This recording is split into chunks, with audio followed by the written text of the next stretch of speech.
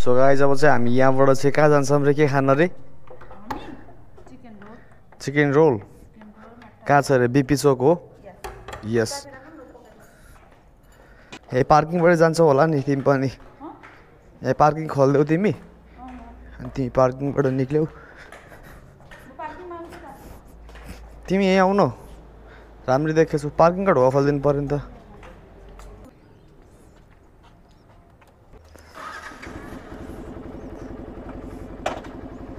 So guys अब चाहिँ हामी यहाँबाट चाहिँ चिकन रोल खान निस्किन्छौँ।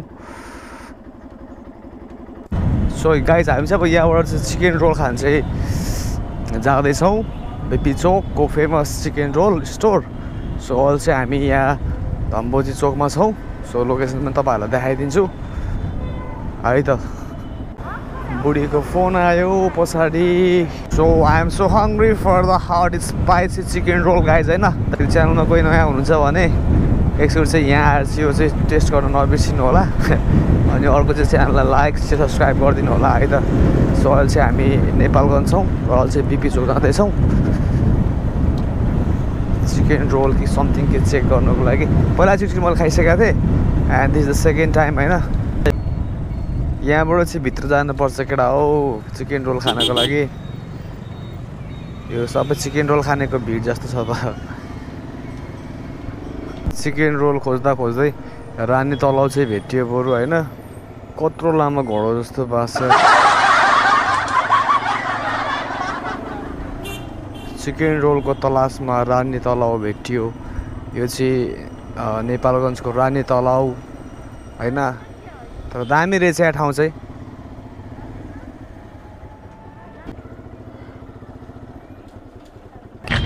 चाहिँ हामी यहाँ रानी तलाउ होइन?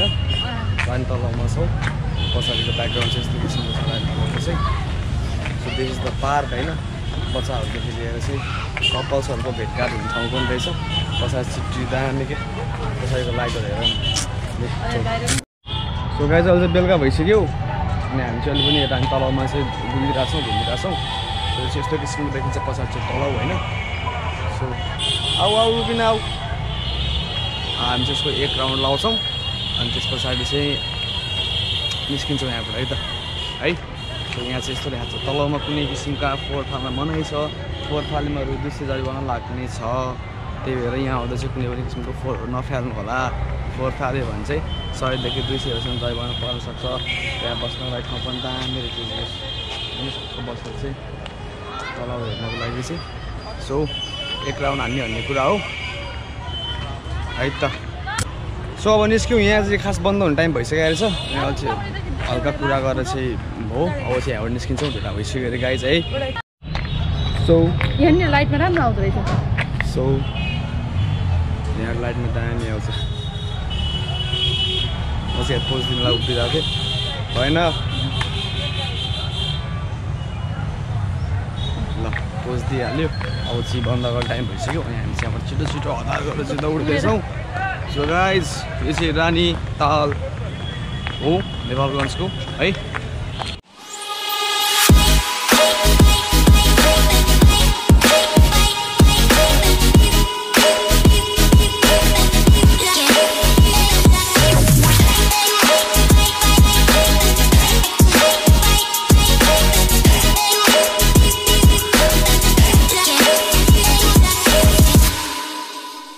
यस्तो प्याक हुन्छ यो रोड यार आमामा क्लोज कल भन्ने त केटाहरूले हाइवेतिर यहाँ त प्रत्येक गाडी आउने भनेकै क्लोज कल हो के? उताबाट आउने भनेकै। कसैलाई कसैको बाल छैन आँखा कान बन्द गरेर हिँड्दैछ हिँड्ने। कुदाउनेले आँखा कान बन्द गरेर कुदाइरहेछ झन्डै क्लोज कल भएको थियो फेरि। So this the night life of Nepalgunj होइन? यसरी बुझ्दा पनि हुन्छ। सो रानी महल गइयो। अब चाहिँ हामीले खास खोजेको भनेको चाहिँ चिकन रोल पाउने ठाउँ हो। मैले पहिला चाहिँ यहीँ खाएको थिएँ एकचोटि चिकन रोल चाहिँ। अहिले खोज्न आएको चाहिँ भेट्दै भेटिनँ। कहाँ बन्द थियो अथवा मैले देखिनँ के हो त्यही भएर एकचोटि फेरि हामी एकदम बिस्तारमा हुन्छ नि हेर्दै बिस्तारै हिँडिरहेछौँ। मैले त धेरै पहिला खाएको थिएँ साथीसँग आएको बेलामा। समीर दोसँग आएको बेलामा Samir. Samir Gautam, if you are watching this video, then I am missing you badly. अनि तैँले र मैले चाहिँ यहाँ खाएको ठाउँ नै बिर्सेँ यार मैले यार।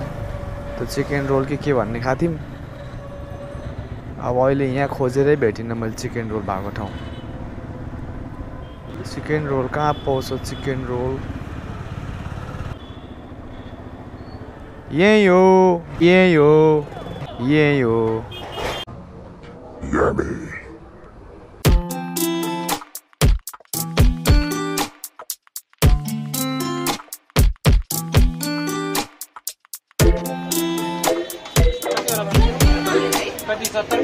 सयको बनाउनु न। सयको म सक्छु म खान्छु। पिरो गर्ने पिरो नगर्नु।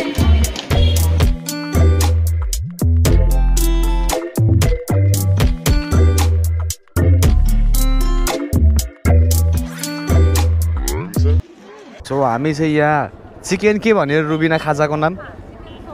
चिकन सोरमा अरेबियन डिस खाएर निक्ल्यौँ यो चाहिँ नेपालगञ्जको बिपी चोकदेखि अलिकति भित्र लगभग लगभग सय पचास सय मिटरको भित्र पर्छ चाहिँ। जाँदाखेरि चाहिँ राइट अल्छीमा फर्किँदाखेरि चाहिँ लेफ्टमा छ। यहाँ चाहिँ तिन भेराइटीमा पाउँदो रहेछ पचास सत्तर सयको। साइज साइजमा चाहिँ अलिकति फरक हुन्छ होला जस्तो लाग्यो मलाई होइन? सो हामीले चाहिँ दुइटा टेस्ट गऱ्यौँ। के हुँदैछ यो देशमा? ल हेर यो यस्तो जाम त सुर्खेतमा हुँदैन तर अति यार।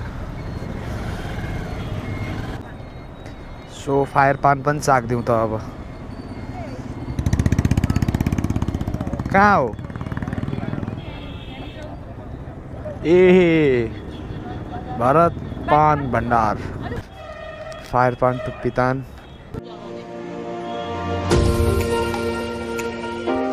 अब चाहिँ फायर पानको रेसिपी सुरु हुँदैछ।